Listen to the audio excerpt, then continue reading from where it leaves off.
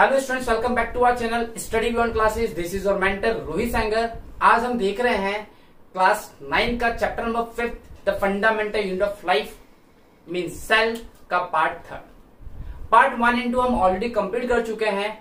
एक छोटा सा डिस्कशन ले लेते हैं कि पार्ट वन इन टू में पढ़ा गया पार्ट वन में मैंने आपको सारे बेसिक्स बताया about cell okay and in part two we have gone through the functions of cell wall and plasma membrane तो ये दो टॉपिक्स हम कवर कर चुके हैं। अब जो हमारा थर्ड टॉपिक है that is related with the plasma membrane अगर आपको याद हो तो कल हमने डिस्कस किया था कि प्लाज्मा मेम्ब्रेन जो होती है it is a selectively permeable membrane the meaning of selectively permeable membrane is to allow selected material to go inside and outside the cell मतलब सबसे इंपॉर्टेंट चीज़ क्या अगर ये सेल है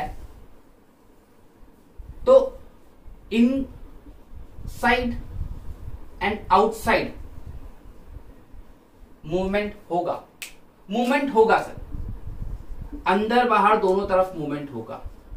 तो ये मूवमेंट होगा कैसे? इंपॉर्टेंट वो है। ये टॉपिक अपने आप में इसलिए इंपॉर्टेंट हो जाता है क्योंकि इन दो सालों में सीबीएसई ना यहाँ से क्वेश्चन सीधा सीधा पूछ रहा है नाइन्थ क्लास से। है टेंथ में। ठीक? है नाइन्थ में, लेकिन टेंथ क्लास में उसने पूछ लिया, क्योंकि टेंथ में कहीं छोटा सा साइड में दे रखा था। और सीबीएसई कहीं से भी कुछ भी पूछ सकती है। So you have to remember each and everything you have to focus on everything because everything is important for you every content every topics is important for you for exams आप ignore नहीं कर सकते। If you want to score good marks then you have to learn everything तब जाके कहीं marks score होंगे। जो dream देख रहे हो ना टेंथ बोर्ड का, बचपन से सुनने को मिलता था कि टेंथ बोर्ड है टेंथ बोर्ड है, बस आ चुकी है टेंथ बोर्ड अब। नाइन्थ अगले साल टेंथ है आपकी। ये तो कोरोना में निकल जाएगी पूरी। नाइन्थ पता भी नहीं पड़ेगा आपको। और हाफ़ निकल चुकी है। मुद्दा यह है कि आप कितनी इंपॉर्टेंस दे रहे हैं पढ़ाई को आज की डेट में। अभी पता नहीं चलेगा। बट जैसे ही लॉकडाउन खत्म हो जाएगा, सब चीज़ें आपके सामने आएँगी ऑटोमेटिक तब आप पे आएगा प्रेशर तब आप मैनेज करके देखिएगा। इसलिए अभी से पढ़ना शुरू कर दीजिए। आपको पता भी नहीं पड़ेगा कि आप कब स्कूल से आगे निकल जाएँगे। आपका सिलेबस कब बहुत आगे हो जाएगा। Okay now back to the point inside and outside movement की बात होती है। तो इनसाइड मूवमेंट जो हुआ आउटसाइड जो मूवमेंट हुआ, ये दो तरीके से होता है। सेल को क्या चाहिए? या तो सेल को चाहिए गैस मतलब O2 और CO2 गैस और वाटर ये दो मेजर कंपोनेंट है जिसका एक्सचेंज होता है सेल के अंदर। अब भाई होगा तो आप खुद सोचिए। भगवान ने सांस लेने के लिए विंड पाइप दिया है और खाने के लिए फ़ूड पाइप दिया है। भगवान चाहता एक ही पाइप दे सकता था, सोचिए।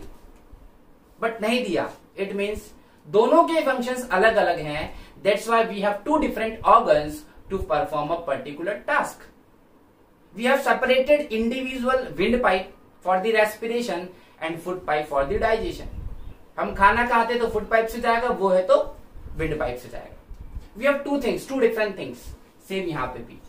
तो गैस का जो ट्रांसफ़र होता है सेल के अंदर, वो होता है डिफ्यूजन के थ्रू और वाटर का जो ट्रांसफ़र होता है, वो होता है आपका ऑस्मोसिस के थ्रू अब ऑस्मोसिस आपको कंफ्यूज होने की ज़रूरत नहीं है। मैं ज़्यादा दूर की बात नहीं कर रहा, मैं बात कर रहा हूँ आपके आसपास की। Science is all about your surrounding science is all about your nature science is all about your behaviour आप साइंस को मत समझिए, आप खुद को समझिए, आसपास को समझ लीजिए साइंस ऑटोमेटिक समझ में आएगी। ये ऑस्मोसिस वर्ड आपने सुना है, और अभी से नहीं, आप तीन चार सालों से सुन रहे हैं। हेमा मालिनी मैम आती हैं रोज टीवी पे और प्योरिट का ऐड करके जाती हैं आरओ लगाइए आरओ लगाइए आरओ लगाइए। तो आर क्या था? आर था रिवर्स। ओ क्या था? ऑस्मोसिस। Reverse osmosis. तो अब आरओ से ध्यान रखिए, ऑस्मोसिस किसमें काम आ रहा है? वाटर प्यूरिफायर में। एग्जैक्टली वाटर प्यूरिफायर में। और आपने देखा होगा, तीन लेयर पाँच लेयर के आते हैं प्यूरिफायर वो जो लेयर होती है, वो पता है क्या होती है? वो होती है उसकी मेम्ब्रेन जो फ़िल्टर करती है। उस मेम्ब्रेन को हम कहते हैं सेमी परमेबल मेम्ब्रेन यहाँ से डिफरेंस भी आ गया. सेमी परमिएबल मेम्ब्रेन ओके मतलब दो चीज़ देखिए आपने. डिफ्यूजन क्या है? गैसेस का एक्सचेंज बट ध्यान रखिएगा, जो डिफ्यूजन है, ये solid medium liquid medium and gas medium तीनों में हो सकता है, लेकिन ऑस्मोसिस सिर्फ़ और सिर्फ़ लिक्विड मीडियम में होता है। मेरे साथ पहले आप डिफरेंस लिखते जाइएगा, मैं बोल रहा हूँ। बनाइए तो यहाँ पे डिफ्यूजन लिखिए, यहाँ पे ऑस्मोसिस लिखिए, क्योंकि अननेसेसरी मैं लिखूँगा देन टाइम वेस्ट होगा, फिर आप बोलेंगे, इतनी बड़ी बड़ी वीडियो देते हो आप तो बीस बीस एक घंटे की। है ना? तो अपना मोटिव वो नहीं है। अपना फोकस है मेन कंटेंट को कवर करना। लिखा आपने diffusion osmosis parallel note down करते जाइएगा। It occurs in the medium of solid liquid and gas it occurs is only liquid medium यहाँ पे ऑस्मोसिस में semi permeable membrane is required यहाँ पे semi permeable membrane is not required semi permeable membrane is not required यहाँ पे required ये दो चीज़ समझ में आई? ओके अब देखिए हम बात कर रहे हैं ऑस्मोसिस की, क्योंकि मुद्दा हमारा ऑस्मोसिस का है, क्योंकि इससे हम एक बहुत इंपॉर्टेंट कंटेंट कवर करने वाले हैं दैट इज़ द सॉल्यूशन तो ऑस्मोसिस की बात करें तो ऑस्मोसिस का मतलब होता है the process of transfer of water molecules the process osmosis को डेफिनेशन देते हैं हम लोग osmosis okay the process of transfer of water molecule from region of higher concentration to lower concentration भाई ये तो हमने बात कर ली साइंटिफिक अब थोड़ा हो जाते हैं प्रैक्टिकल। अब थोड़े हम हो जाते हैं प्रैक्टिकल। साइंटिफिक लैंग्वेज में बात कर ली हमने कि भाई ऑस्मोसिस क्या है? वाटर मॉलिक्यूल्स का ट्रांसफ़र अब आप खुद सोचिए ट्रांसफ़र कब होता है? ट्रांसफ़र कब होता है? भाई, सीधी सी बात है ट्रांसफ़र कब होता है? आप एक गरीब को खाना देंगे। आपने खाने का ट्रांसफ़र किया। क्यों? क्योंकि आपके पास ज़्यादा था। तो आपने ट्रांसफ़र कर दिया। अब मैं यहाँ पे ट्रांसफ़र कर रहा हूँ नॉलेज को। क्यों? क्योंकि मेरे पास knowledge as compare than use ज़्यादा है।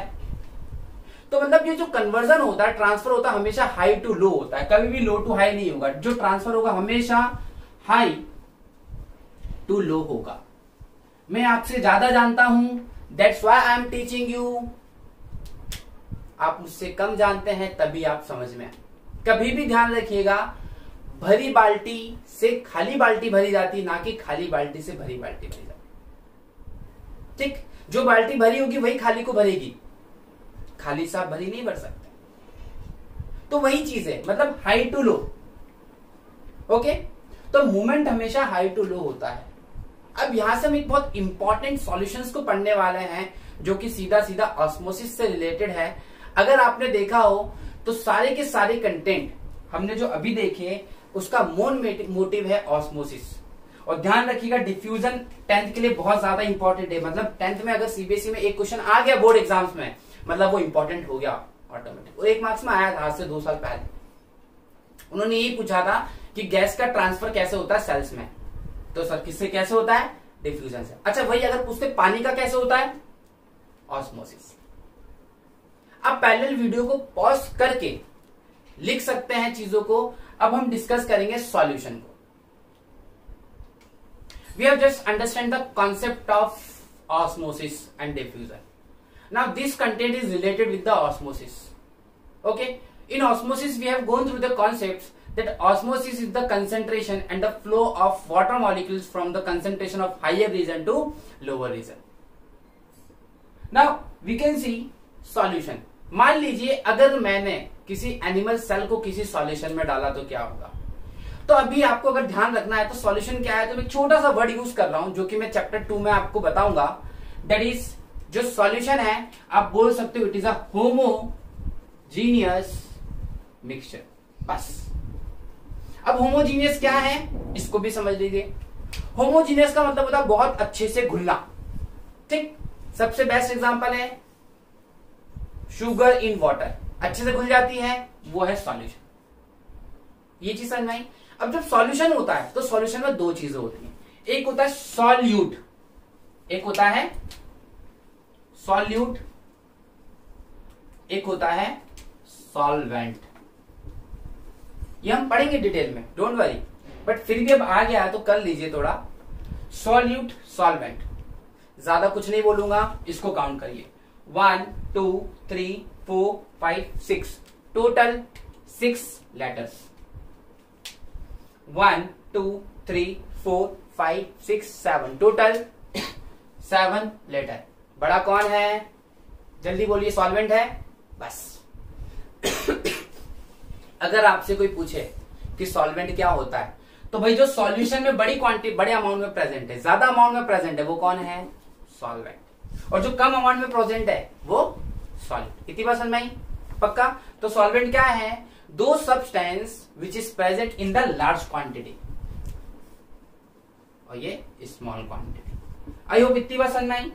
ठीक? अब आए अपन टॉपिक पे। हम बात कर रहे थे सॉल्यूशंस अब यहाँ पे हम सॉल्यूशंस को लेंगे तो सॉल्यूशन को डिवीज़न करने के क्राइटेरिया जो हमने यूज़ किए हैं, वो है तीन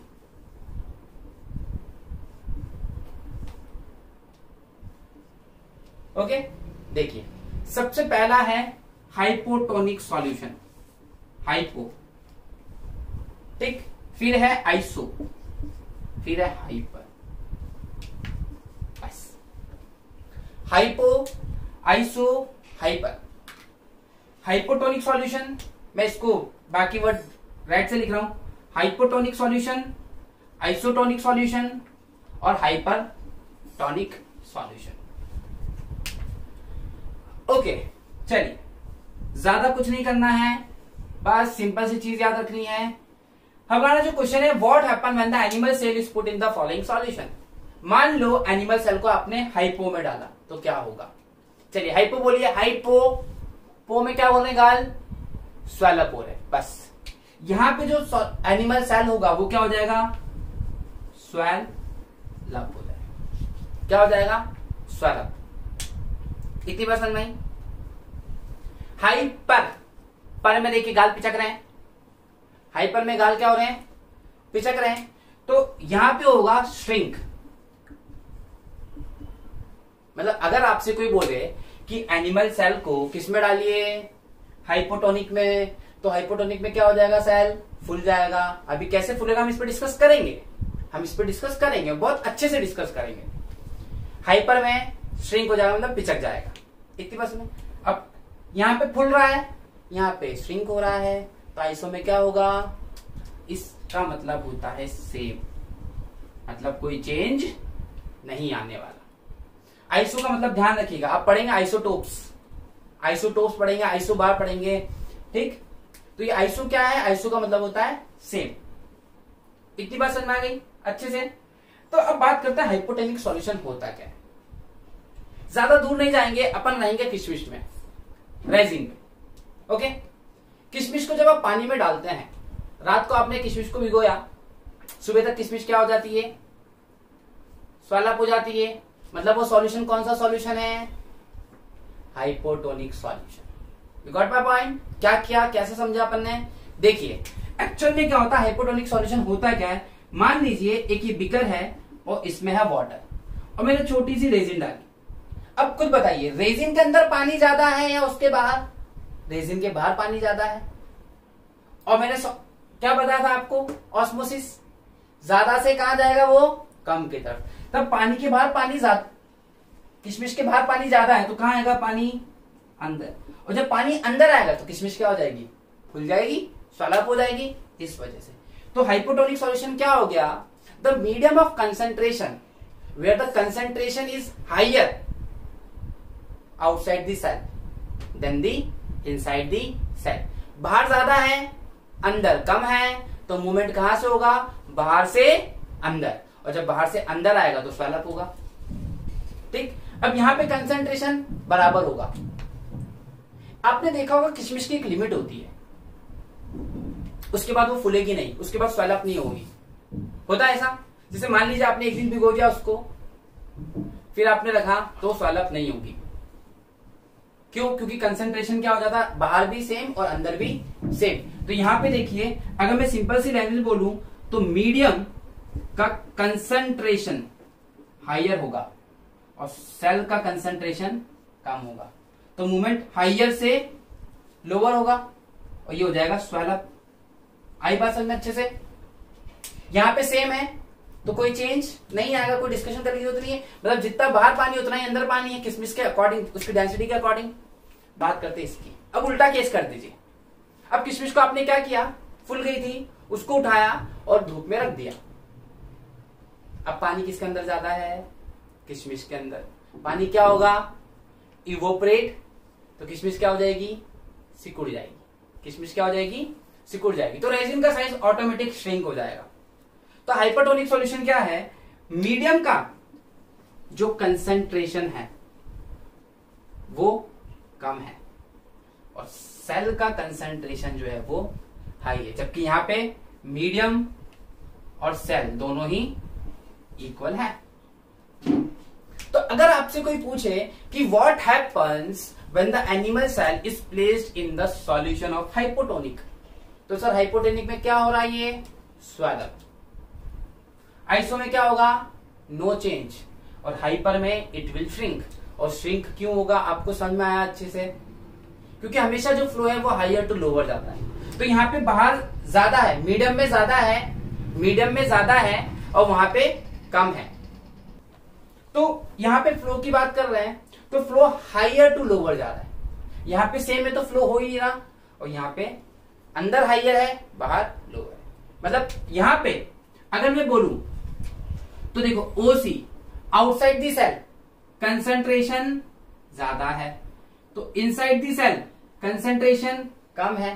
तो भाई ज़्यादा से कम जाएगा, और ज़्यादा से कम जाएगा तो सेल का साइज़ बड़ा होगा। यहाँ पे उल्टा, देखिए। आउटसाइड दी सेल कंसेंट्रेशन है कम। इनसाइड दी सेल कंसेंट्रेशन है ज़्यादा। तो अब फ्लो कहाँ से होगा?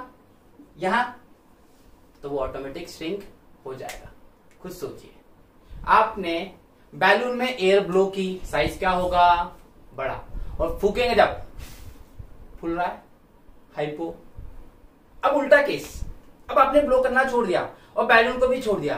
अब हवा कहाँ से आएगी? बैलून के अंदर से बाहर आएगी तो बैलून का साइज़ श्रिंक हाइपर तो आपको समझ में आया? हाइपोटोनिक क्या है? आइसोटोनिक क्या? हाइपोटोनिक क्या डेफिनेशन समझ में आई यहाँ पे क्या मीडियम का कंसेंट्रेशन हाइयर है?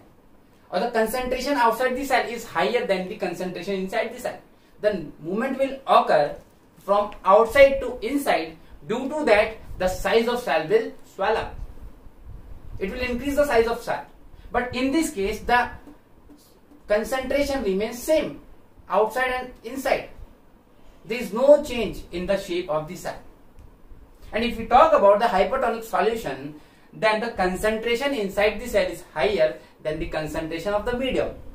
If the concentration inside the cell is higher, as I told you, that the movement will always occur when the concentration of cell is higher to the lower end. And here the concentration is higher, then it will move towards the lower end. And the automatically it, it will decrease the size of cell. So basically we have understand the concept of solution. And this content is very important for the exams and for the practical purpose.